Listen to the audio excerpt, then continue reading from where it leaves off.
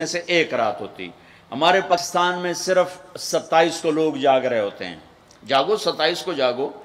लेकिन मैं कहता हूँ मेरे नबी का फरमान है शब कदर पाँच रातों में घूमती है। कभी 21, कभी 23, कभी 25, कभी 27, कभी 29 इन पाँच रातों में घूमती है।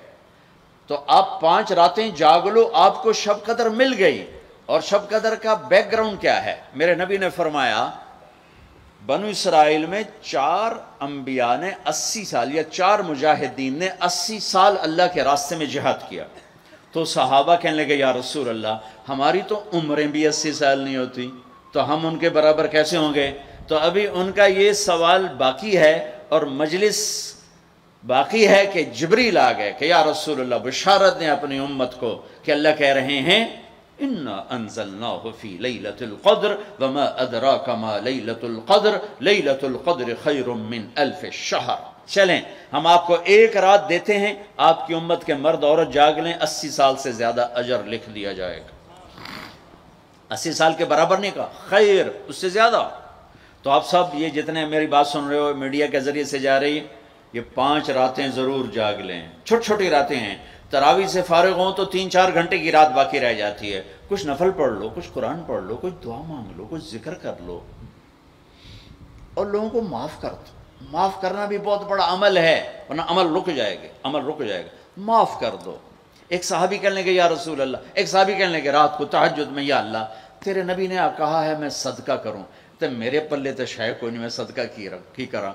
अच्छा चल मेरे मौला, जिस जिसने मेरी बेइज्जती की, मैंने सबको माफ़ किया। मेरा यही सदका कबूल कर। फजर की नमाज़ में आए। आपने नमाज़ के बाद ऐलान किया, भाई रात को सदका किसने किया है? सारे चुप बैठे रहे, किसी ने नहीं किया। फिर आपने वाजे किया, रात को अपनी इज़्ज़त का सदका किसने किया है? ये खड़े हो गए। यार रसूल अल्लाह और आपकी बातें सुनकर शौक पड़ा कि को माल लगाऊँ माल था नहीं। मैं कहा, चल मेरे मौला, में अपनी इज़्ज़त ही सदका करना। तो मेरे नबी ने फरमाया, तेरा अल्लाह ने कबूल सदकों में लिख दिया है ये अमल। शब कदर में माफ़ करो। दिल में बोगज हो तो अटक जाएगा मामला। चार आदमियों की बख्शिश नहीं होती। अल्लाह ना करे कोई हम में से कोई हो। कोई हो तो मैं बता दूँ ताकि जल, ताकि वो अभी से तौबा कर ले। मुदमिन खमरन, शब कदर में जबरील उतरते हैं।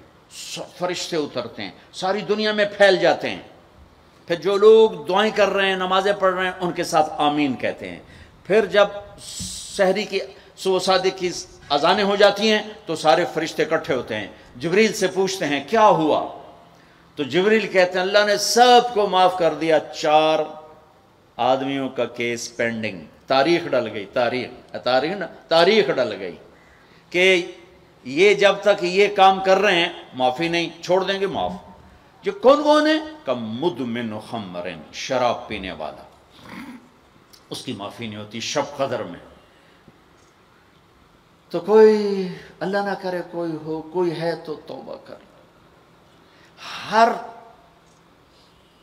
हर ख्वाहिश जिसे आप दुनिया में तस्वर करते हो उसको अल्लाह ने हलाल तरीके से जन्नत में तैयार करके रखा हुआ है। कहता ये शराब छोड़ो, तुम्हारे मुँह से बदबू बेहोश हो रहे पेशाब निकल रहे तुम आओ मेरे पास, व सफ़ा हम रब हम शराबन तहोरा। तेरा रब तुम्हें खुद अपने हाथों से पिलाएगा। ठीक हो गया? आकुल्ले वालिद है माँ बाप का ना फरमान बख्श शब कदर भी नहीं बख्शवा सकेगी। माँ बाप का ना फरमान